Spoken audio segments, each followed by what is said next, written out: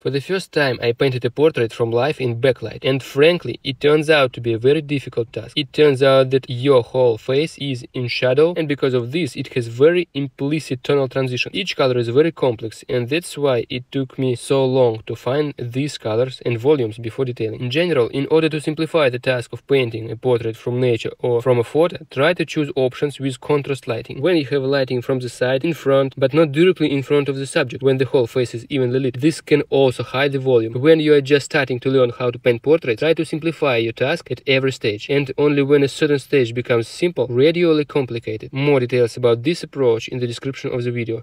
How do you like the portrait?